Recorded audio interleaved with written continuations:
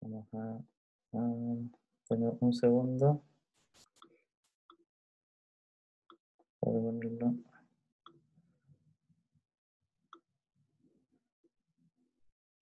Vamos a tratar de... Ahí. Bueno, no sé si se me deja... Bueno, vamos a moverlo esto dependiendo de cómo se ve. Bien, muy buenas tardes. Eh, muchas gracias por la invitación. La verdad es que primero felicitar a, los organizadores de este curso. Yo creo que ha sido una tremenda experiencia y oportunidad para todos, para aprender más sobre medicina interna. Han tenido excelentes eh, invitados de todo Chile, así que creo que eh, fue una gran instancia también para, para todos los que pudieron participar de este curso. Esta es la última jornada, así que más que todo, en honor al tiempo, voy a hacer las dos presentaciones de forma continua y luego al final eh, ustedes dejan sus preguntas para responderlas al finalizar, digamos, el módulo. La primera presentación es con respecto a un tema que a veces es un poco controversial, eh, que es la fibromialgia. Y así que vamos a darle un poco una actualización y un enfoque práctico para ustedes.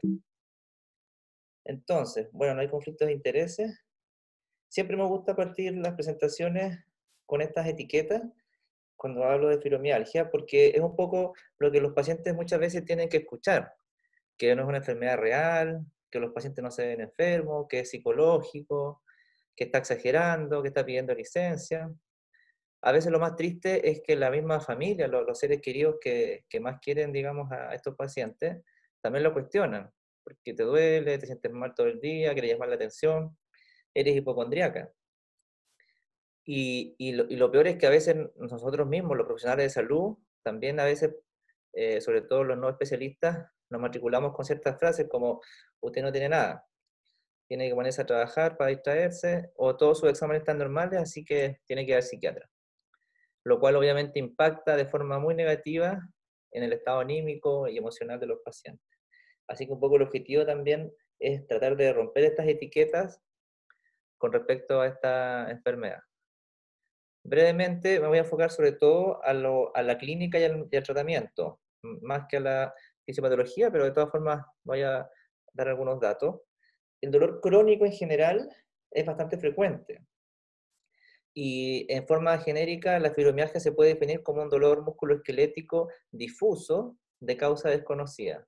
Es parte de varias enfermedades que comparten estos síndromes de dolor disfuncional, como el síndrome intestino irritable, la, cefalea crónica, etc.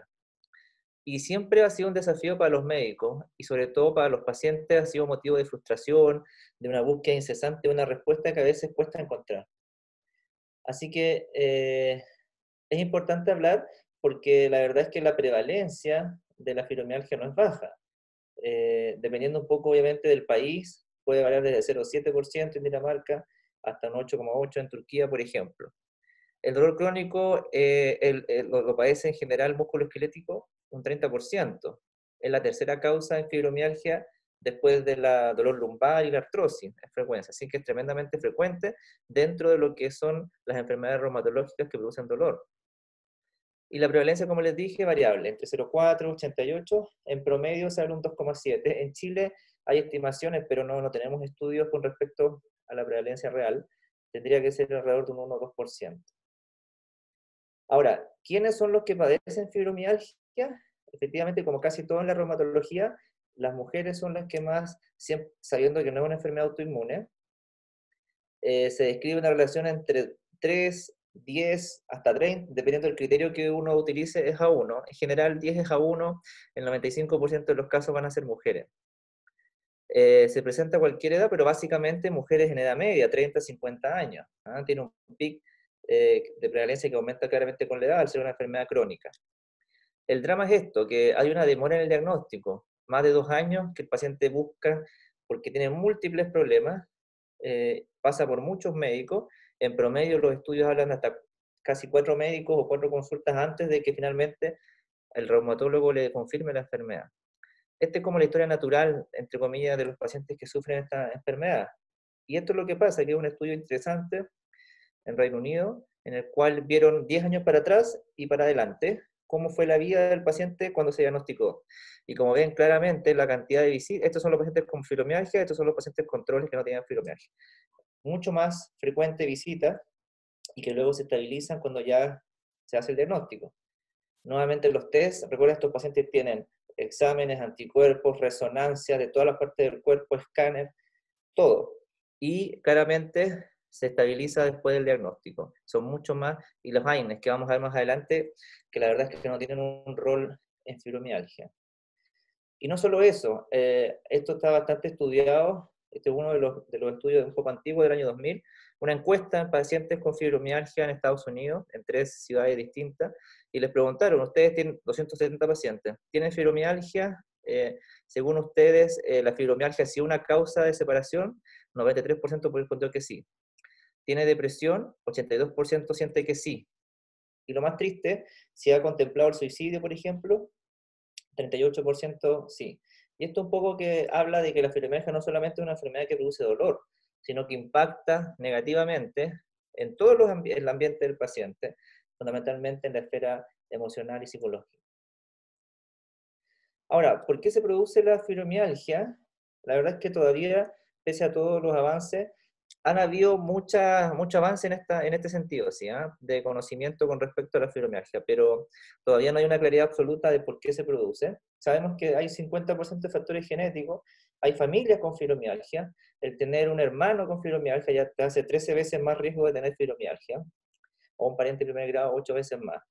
Y el resto son factores ambientales que más que la causa son gatillantes, digamos, estresores psicológicos o físicos hay pacientes posguerra que han tenido fibromialgia y pueden haber gatillantes virales, traumatismo, una cirugía, etc.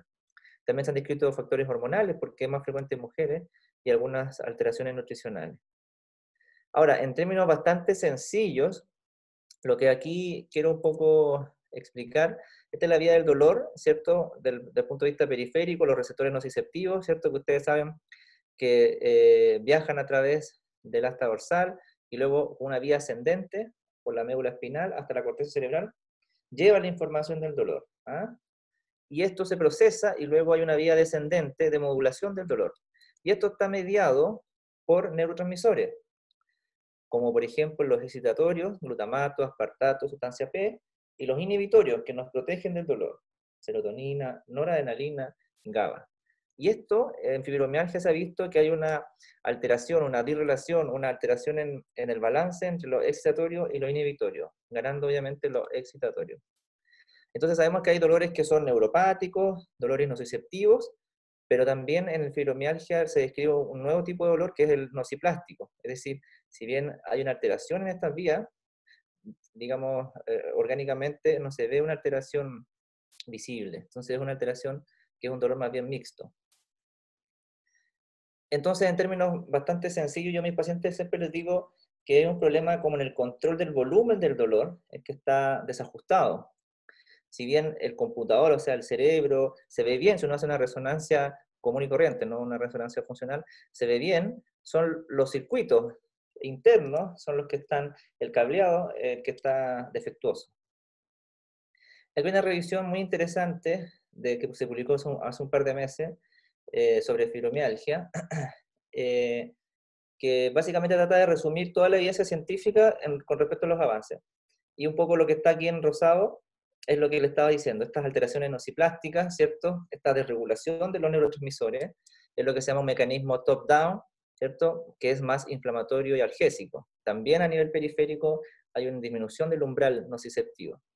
Pero también hay otros factores que también hay que considerar, como pacientes que tienen baja resiliencia, un enfrentamiento desadaptado al estrés, alteraciones del sueño. Está totalmente, no voy a entrar mucho en detalle porque son varias alteraciones, pero eh, eh, hay una clara alteración en, el, en la arquitectura del sueño de los pacientes con fibromialgia. La depresión y ansiedad, que es mucho, mucho más frecuente en estos pacientes.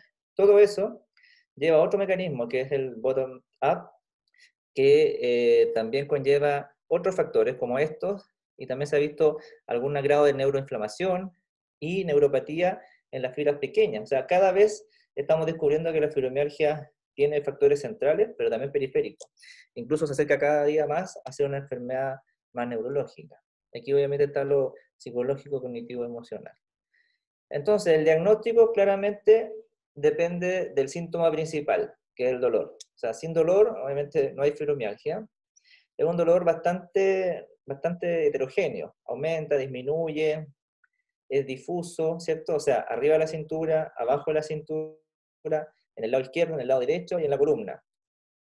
Eh, puede migrar, ¿cierto? Puede tener esa sensación como de que molesta hasta la ropa, el tacto, y hasta un 50% más pueden haber síntomas neurológicos como neuropatía, así como sensación de hinchazón, entumecimiento, parestesia, ardor y rigidez matinal en el 80%.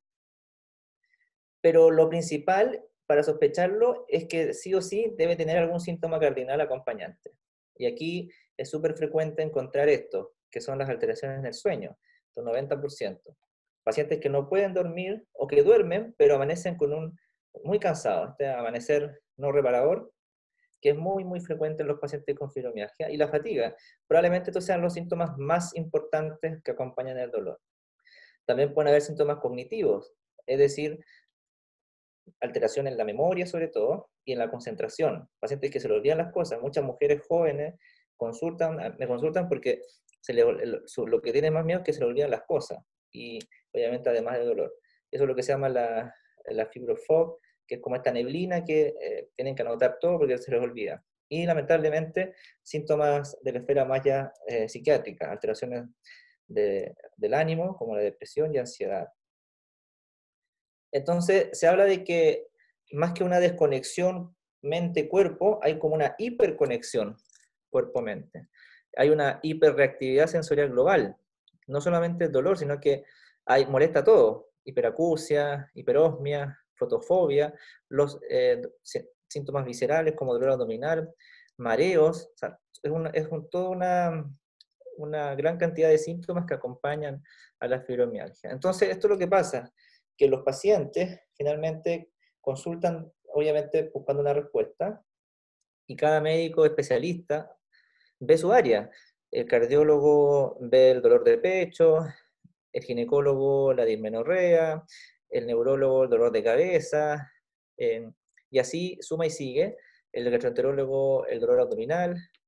Entonces, finalmente, el mensaje es que la única forma de poder abordar de mejor forma eh, la fibromialgia es teniendo una visión más integral. O sea, hay que ver al paciente como un todo y no por partes. En esta misma revisión que les mencionaba, aquí, digamos, detallan la cantidad de síntomas que pueden producir la fibromialgia, les, repito lo, cardinal, ¿cierto? Los síntomas psiquiátricos. Y ojo que miren, pueden tener serostomía, fenómeno de Raynaud, o sea, eh, seroftalmia, o sea, que son síntomas clásicos de enfermedad del tejido conectivo. Por lo tanto, a veces es difícil hacer el diagnóstico. Y lo que se ha visto es que comparte eh, los mismos mecanismos de dolor que otras enfermedades, como la migraña, la dismenorrea, el, el intestino irritable, el síndrome de fatiga crónica, y eso hace que el fenómeno de sensibilización central del dolor explica un poco estos síntomas. Por tanto, ya se habla de que la fibromialgia, más que una enfermedad, sería un síndrome. Ahora, pasando al examen físico, ¿qué podemos encontrar? La verdad que en general el examen físico es normal, es decir, eh, cuesta a veces examinar al paciente porque el paciente está con mucho dolor, puede tener sensibilidad al tacto, es lo que se llama eh, un umbral al dolor disminuido, es decir, alodinia, hiperalgesia, pero no hay inflamación, no hay sinovitis, no hay deformidades, ¿ah? no hay alteraciones cutáneas, eh, y lo que sí podemos encontrar son estos puntos sensibles, dolorosos, que son los famosos puntos tender point eh, de la fibromialgia, ¿ah? sobre todo a nivel dorsal, occipital, eh, que vamos a detallar un poco más adelante. Y esto es realmente lo que uno busca, porque es relativamente sencillo de hacer, no está muy eh, homogeneizado cómo hacerse, pero en general eh, uno siempre lo trata de buscar, no son muy específicos. Ahora, ¿qué examen hay que pedir? La verdad es que no existe ningún examen, no hay ningún biomarcador para la fibromialgia. ¿ya? Y el diagnóstico, por lo tanto, es eminentemente clínico. E idealmente, el gol estándar es confirmado por un reumatólogo. ¿ya? Ahora, ojo que es un diagnóstico positivo. Esto es decir que el paciente puede tener otras enfermedades, puede tener artrosis, diabetes, eh, eh, lupus, y no, eso no quita que tenga una fibromialgia. ¿ah? O sea, la fibromialgia es un diagnóstico, no es de descarte. Pero sí lo que se recomienda en la mayoría de las, guías es eh, medir algunos exámenes, porque se parece a otras enfermedades, un hipotiroidismo grave, ¿cierto? Hay que pedir TSH, una miopatía inflamatoria, CK, niveles de vitamina D, ¿cierto? Osteomalacia, y obviamente un hemograma, una VHS, una PCR, sin duda, porque eso obviamente exámenes ya están normales. Anticuerpos, solamente si hay clínicamente una sospecha de alguna enfermedad autoinmune. ¿ah? Si tiene sinovitis, si tiene alopecia, etc. O si tiene examen alterado. Imágenes tampoco, a menos que requiera descartar otras etiologías. Y ojo que, como les decía, es un diagnóstico positivo. La gente que más tiene fibromialgia son los pacientes que vemos nosotros, los reumatológicos. Hasta un 30% de los pacientes que vemos con lupus, espondiloartritis, artritis reumatoide pueden tener fibromialgia asociada. Estas son las ubicaciones, ¿cierto?, de los tender points, los criterios antiguos del año 1990. Le daba mucho énfasis al dolor difuso, como les decía, arriba, abajo, izquierda, derecha, columna, y estos puntos, hay que palparlo. Si había un dolor, 11 de 18 era diagnóstico eh, de fibromialgia, entre los criterios ACR. Estos criterios son importantes porque eh, de alguna forma hace 30 años ya que la fibromialgia está reconocida a nivel internacional. Entonces, eh, cuando me acuerdo una vez, cuando recién llegué al hospital, eh, me senté a tomar un café la primera semana y una internista me dice, doctor, ¿y, ¿y qué pasa con, o sea, mi socio, ¿y qué pasa con la fibromialgia? Y dije, ¿en qué sentido? ¿Existe? Estoy hablando hace dos, tres años. Por tanto, es importante que ustedes tengan súper claro que esto es una enfermedad que ya lleva tiempo, y que está totalmente reconocida, que tiene una fisiopatología clara y una clínica también reconocible. El problema es que el 25% de los pacientes que tienen fibromialgia no cumplen con estos criterios. Y los síntomas más importantes, la insomnio, la fatiga que yo les nombré, ni siquiera los menciona, que no los considera. Por lo tanto, se ha avanzado mucho en los criterios y eh, en el año 2016 se revisaron y la verdad es que cambiaron un poco. Lamentablemente son muy engorrosos, le pusieron un score por la cantidad de áreas de dolor, ya no, no por los tender points, sino por las áreas. El brazo, el antebrazo, el muslo, le da un puntaje, pero sí consideraron los otros síntomas. ¿ah? Fatiga, sensación de levantarse cansado, síntomas cognitivos, cefalea, etc. Y a eso le da un score, más de tres meses obviamente, tiene que tener un dolor generalizado, sí, al menos cuatro de las cinco regiones, y, eh, como les decía, es un diagnóstico que no excluye otro, o sea, no es de descarte. Pero esto se usa más que todo en estudios clínicos. Lo que sí positivo, entre comillas, era que ya dejaron de lado un poco los tender points. Y lo último, el año pasado, eh, varias asociaciones se juntaron un poco para tratar de buscar unas nuevas definiciones, y aquí esto todavía no está, eh, digamos, completamente avalado, pero ellos dicen que, mire, dividamos el, cuerpo en regiones, en nueve regiones, por delante y por atrás, y debe tener seis áreas dolorosas, tiene que tener fatiga o problemas para dormir, al menos moderadamente, y esto tiene que estar presente en tres meses. Y ahí obviamente simplifica y le da énfasis a los síntomas cardinales que les había mencionado. Probablemente sean los futuros criterios de la fibromialgia. Ahora, la fibromialgia no está en el GES. Claro, me dicen, doctor, pero no está en el GES, ¿qué vamos a hacer? pero sí hay una orientación clínica bastante, bueno, tiene como 51 hojas, pero yo les recomiendo que lo revisen. Esta fue publicado el año 2016, una junta de expertos de kinesiólogos, fisiatras, reumatólogos, enfermeras, etcétera, que pudieron consensuar en base a la evidencia disponible cuáles serían las directrices para la atención primaria, que es un poco el motivo de la charla. Entonces, uno puede hacer un checklist, esto ustedes lo pueden tener a mano en su celular, le pueden sacar una fotito, y son preguntas bastante sencillas. Ustedes le tienen que preguntar, ¿sufre dolor musculoesquelético, articular o muscular por más de tres meses? Ojalá si es difuso mejor. ¿Fatiga o levantarse cansado? ¿Mal dormir?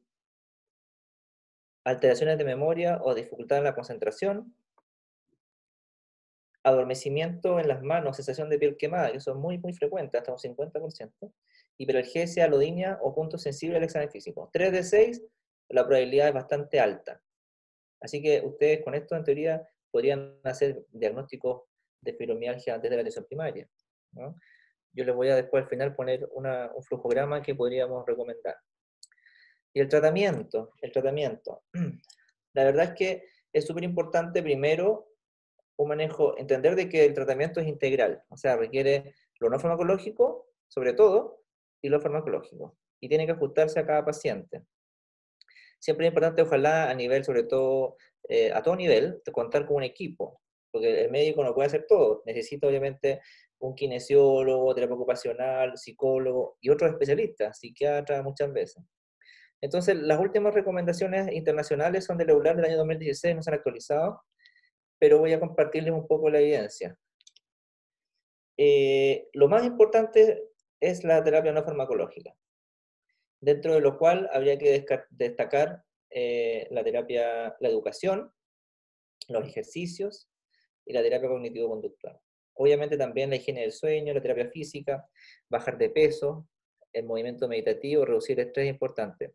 O sea, en resumen, la terapia multicomponente, no solamente los fármacos, es lo principal para tratar estas patologías. Ahora, probablemente lo más relevante al principio es la educación, es decir, tomarse un par de minutos y explicarle al paciente cuál es su diagnóstico, por qué le pasó esto. Muchas veces hay que, eh, hay que explicarle a la pareja porque no, los pacientes la verdad es que viven un poquito estigmatizados o no les creen al principio. Y lo que estamos haciendo también ayuda mucho porque de alguna forma se hace más visible esta enfermedad. Hay que decir que es un síndrome que es real, que es una enfermedad real, que existe. Como ya les decía, más de 30 años que ya está zanjado esa discusión. Hay que explicar por qué es los gatillantes, ¿cierto? Objetivos realistas, es decir, manejar el dolor y mejorar la calidad de vida. Es una enfermedad que es crónica, ¿ya? Y el énfasis fundamentalmente en los no farmacológicos. Probablemente lo que tiene más impacto es el ejercicio aeróbico y de fortalecimiento muscular, ¿ya? Tiene que ser muy paulatino, ajustado al paciente, guiado idealmente por un kinesiólogo. Claramente en todas estas terapias no farmacológicas, la limitante siempre va a ser el acceso. La terapia física definida, que es básicamente acupuntura y la hidroterapia, que la verdad es que nosotros aquí en Punta Arenas tenemos centro de rehabilitación y podemos desde el hospital mandar a pacientes a hidroterapia con una experiencia que no ha sido medida, pero básicamente subjetivamente, lo que dice la evidencia, muy positiva, muy positiva. Y, aunque no lo crean, el movimiento meditativo, todas estas técnicas más orientales, el Qigong, el Tai Chi, yoga, tremendamente importante también como una terapia adicional. Vamos a ver cuál es la potencia del efecto, porque dice, bueno, pero ¿qué tan, qué tan eficaz son? Y todas estas terapias también para reducir el estrés, el mindfulness, el spa, el masaje. Y aunque no lo crean, la, probablemente la que tiene más evidencia, vamos a ver aquí en los números más adelante, es la balneoterapia, que son todo este contacto con aguas termales que tengan algunas sales. La verdad es que tiene mucha, mucha eficacia en el manejo del dolor y la calidad de vida. La higiene del sueño, obviamente, tratar de hacer recomendaciones generales a los pacientes, sobre todo no comer de noche, ¿cierto? Tratar de optimizar esto. Y eh, la otra eh, terapia que es muy, muy importante es la cognitivo-conductual, que aquí básicamente es cuando el psicólogo es el que de alguna forma son estrategias para poder redefinir los objetivos, disminuir la autoexigencia. Son pacientes que están muy preocupados porque quieren volver obviamente a una vida normal, hacer como eran antes, y todo eso queda una frustración, ansiedad, es, una, es obviamente un círculo vicioso que tenemos que atacar no solamente con pastillas, sino también con eh, esta terapia que hace el psicólogo. Ahora, todas estas terapias que mencioné, esto es un metaanálisis en el cual se evaluó, eh, básicamente son las diferencias medias estandarizadas. Cuando es menos de 0,2, o sea, 0,2 o más negativo, es, es una potencia baja. 0,5 ya es moderado y sobre 0,8 ya es muy, muy, muy, muy eficiente. Entonces aquí está dividido en, estudios, con pacientes con 25 pacientes, 50 pacientes. Obviamente hay pocos estudios que incluyan más de 100 pacientes. Pero como ven, el ejercicio aeróbico al menos tiene una eficacia en dolor moderada al menos. ¿ah? Lo mismo con la terapia cognitivo-conductual y la terapia multicomponente. Pero ojo con la balneoterapia, como les decía, probablemente sea lo que tiene más impacto. En calidad de vida, un poco lo mismo moderado a alto con respecto a la balneoterapia y la terapia multicomponente. Y finalmente, la terapia farmacológica. Bueno, tenemos varios fármacos que usamos nosotros los reumatólogos. Eh, la familia de los antidepresivos, ¿cierto? Los tricíclicos, los inhibidores de serotonina y noradrenalina, los gabapentinoides, que son anticonvulsivantes. Y aquí básicamente lo que tenemos que entender, por qué usamos estos psicofármacos muchas veces, porque es un poco tratar de compensar o solucionar este desequilibrio entre los neurotransmisores excitatorios y los inhibitorios. ¿ah? Entonces ese es el objetivo. Como tenemos bajo, eso está medido en el líquido cefalorraquídeo de los pacientes, adrenalina y, y serotonina, eh, usamos inhibidores de su recapturación para poder aumentar sus niveles. Y ojo que no tiene sentido, por lo que hemos discutido ya, usar antiinflamatorios, glucocorticoides menos, en esta enfermedad, excepto si quieren una tendinitis, obviamente algo puntual, pero no es una terapia crónica. Ojo con los opiáceos fuertes que tampoco están recomendados. Hay una alteración ahí en los receptores MU a nivel central, por lo tanto puede ser incluso contraproducente. Sí, opiáceos débiles, como el tramador. Ahora, ¿con cuál podemos empezar? Solamente eh, hay tres medicamentos, eh, digamos, que son aprobados por la FDA, duloxetina, pregabalina, eh, y bueno, y otro, tercero que no existe en Chile, pero lo que podemos usar son estos que también tienen evidencia, que son fluoxetina, metriptilina, ciclobenzaprina, que también son útiles dependiendo un poco del síntoma que acompaña. Ahí uno toma la decisión. Si tiene depresión, obviamente ojalá duloxetina, alteración del sueño, pregabalina, y la fatiga, duloxetina o amitriptilina.